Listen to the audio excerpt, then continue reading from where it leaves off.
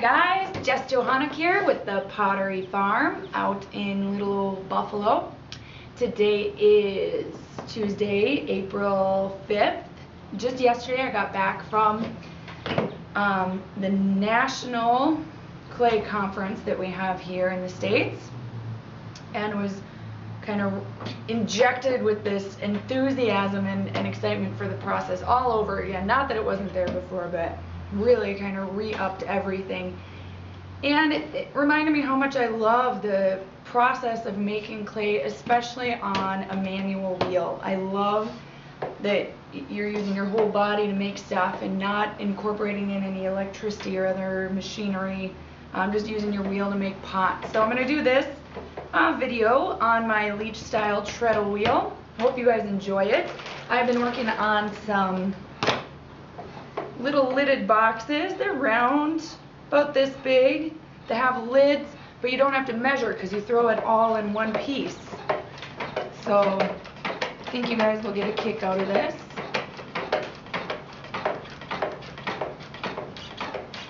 With these treadle wheels, your leg is moving the whole time that you're throwing. It's not really hard work. Sometimes you have to move a little quicker, but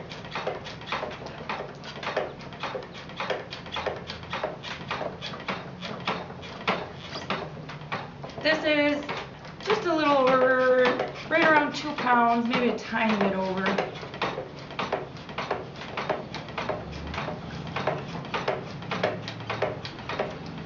I'm open right now, so I'm kind of watching for people coming in at the same time that we're working on this.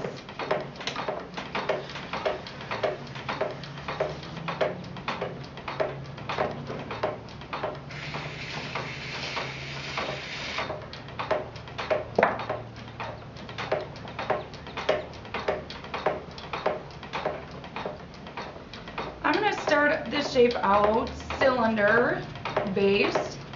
So I'm going to go down maybe just a little over a quarter inch at the base. And I'm going to open this up with a flat bottom. I'm not going to open it very wide, no wider than I need, because I usually end up bringing the bottom in further anyways. To accentuate the nice round shape I go for.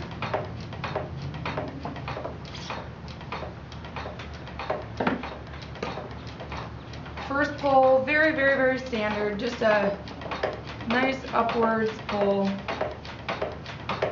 I keep my sponge in my hand with some extra water on it, so if, as I'm pulling the clay seems to dry out, I can just give this hand a little squeeze.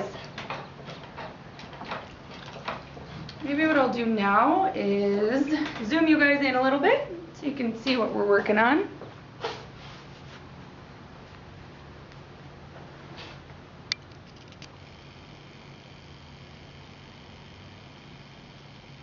Promise to try and keep the project in the frame here, unlike some other times.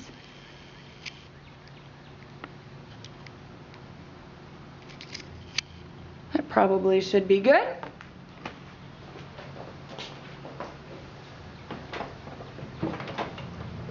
Always make sure the wheel gets spinning in the right direction. With these treadle wheels, the wheel will spin either direction. So I'm going to push in to do this pulse, I'm always trying to get that base a little bit thinner. I'm not going to accentuate that round curve quite yet. I don't want it to collapse on me before I get it all bottled in.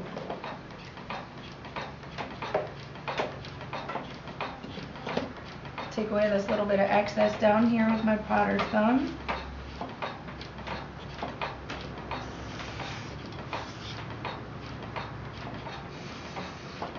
Know that process of taking this clay away can be a little tricky for some people.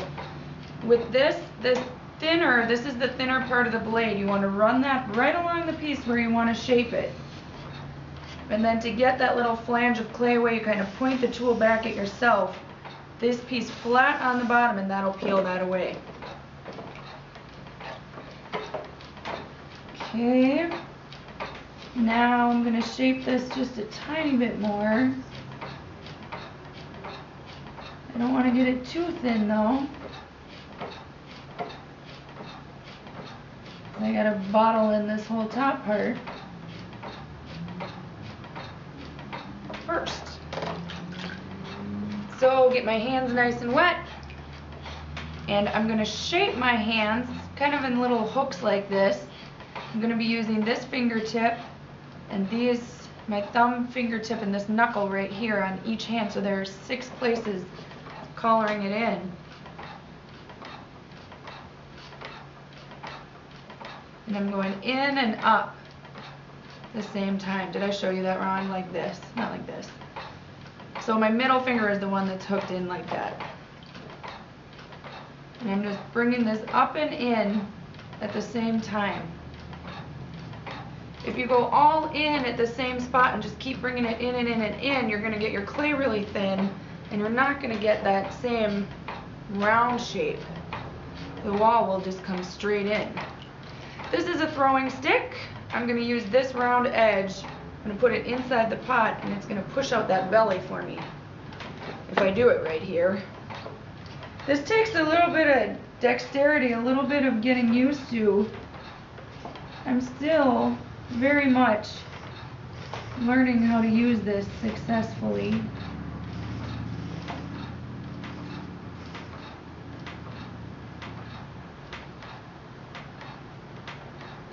And see how this stick allows me to get in where I wouldn't be able to reach my hands now.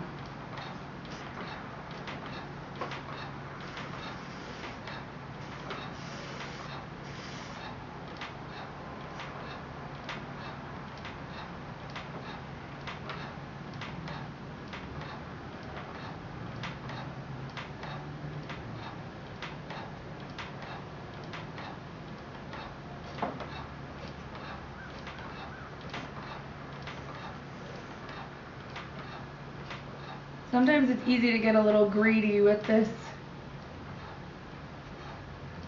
and, keep thinking, well, I can get it a little rounder, a little rounder, until you realize you have a pancake.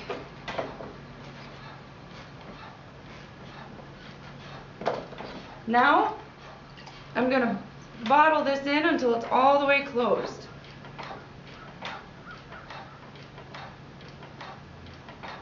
So, shaping my hands like that again. Squeezing in and up. I'm not going to need all this clay and it's harder to move more than I need. So I take that off with the needle. I'm just going to check again that I'm still on screen. Maybe even get a little closer for you guys. Too close.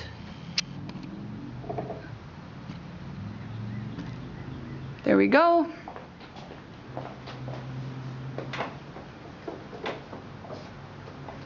All right. So, kind of shaping as I do one last pull here to thin this top part out, but pushing in at the same time. You kind of lean over and look from the side at the shape I'm making.